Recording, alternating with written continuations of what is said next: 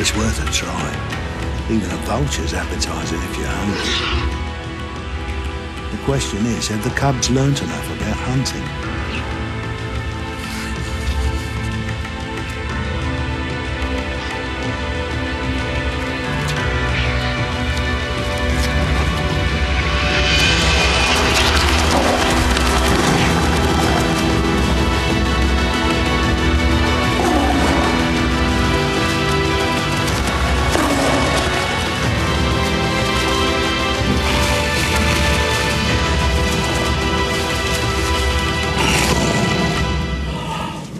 Have made their first kill.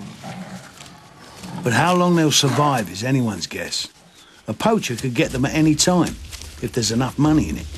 The same's true of every country I've been to. We've got to stop this trade in tiger parts, or the tiger faces certain extinction.